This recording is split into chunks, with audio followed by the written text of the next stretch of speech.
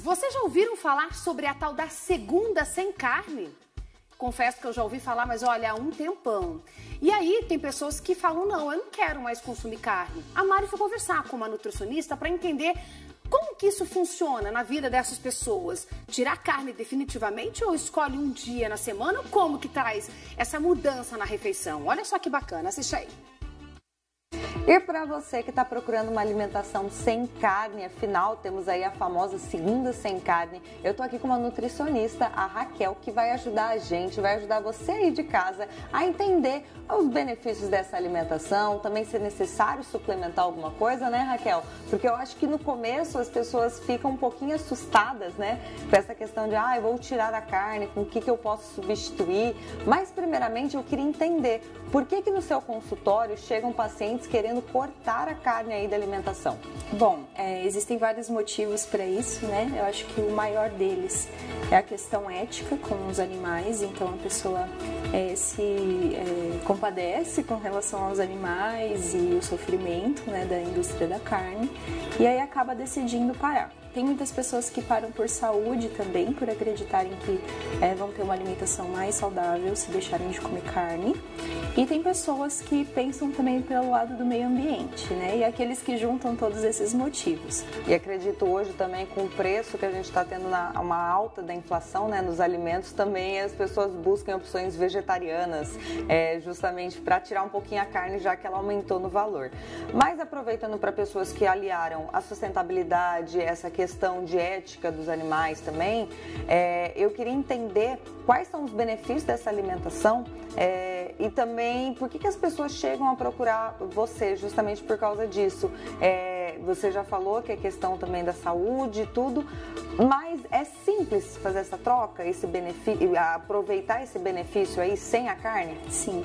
É o que a gente tem de posicionamento hoje, né, das, das maiores entidades, das maiores é, instituições voltadas para a nutrição é que a alimentação sem carne ou alimentação até sem nenhum produto de origem é, animal, ela pode ser sim é, saudável desde que bem planejada. Então ela contempla todos os nutrientes ou quase todos os nutrientes para qualquer fase da vida. Então pode ser uma gestante, pode ser uma criança, pode ser um atleta, pode ser um idoso, desde que bem planejado. Então, às vezes, a pessoa para de comer a carne vermelha, o frango, mas ela ainda está comendo ovo, não é uma, é uma realmente uma alimentação vegetariana, é ovo lacto vegetariana, né? Então, ela ainda vai ter os aminoácidos essenciais ali para ela. Sim.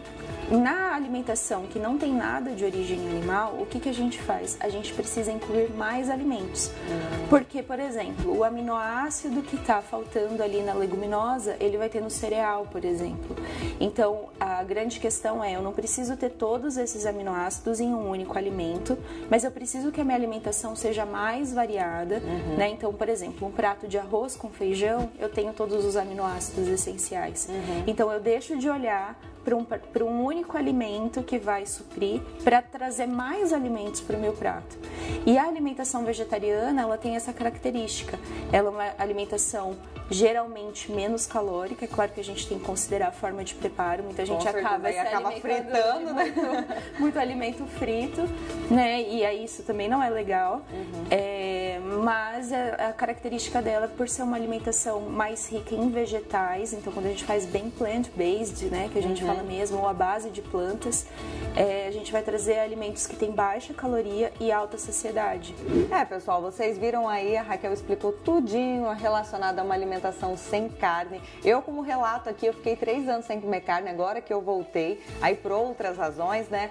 Mas eu quero saber você aí que está assistindo a gente, acessa lá o Rick TV Maringá no Instagram ou no nosso canal no YouTube, manda sua dúvida relacionada a uma alimentação sem carne. Porque vocês viram, tem vários mitos aí, questão da B12, vários assuntos que você pode ter dúvida, mas uma coisa é fato. Procure um profissional que ele vai te auxiliar nessa nova caminhada, nessa nova fase aí sem carne. Ai, gente, vou te contar uma coisa. Eu tava falando com o Bruno da Solução aqui, tem muita gente que faz um planejamento. Vou tirar carne da minha vida. Eu vou fazer um plano, um, vou planejar essa nova alimentação que eu vou é, é, seguir a partir de agora. Tudo é planejamento.